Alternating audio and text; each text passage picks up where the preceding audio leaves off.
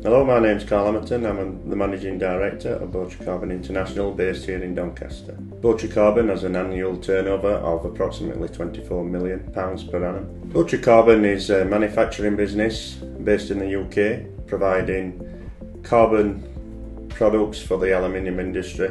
Dealing with Cortex in general is, is a pleasant, painless experience. Um, the way that they work, they're very proactive, they are constantly in touch.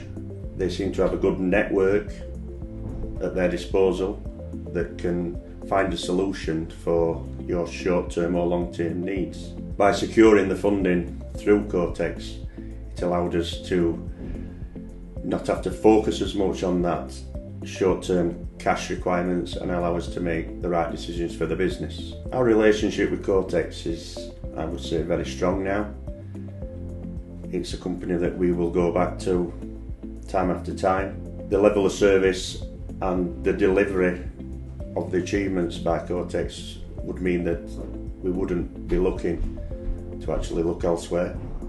We would recommend them and we would ourselves use them time and time again. They have delivered an effective solution in a short time frame compared to what we've experienced before with other traditional funders.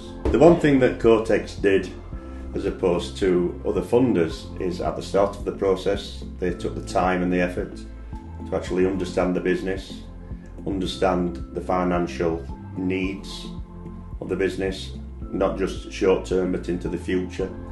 So that whilst they was looking for the immediate funding requirements that we as a business needed, there was also looking at what other funding we may need in the future and how they may be able to assist with that.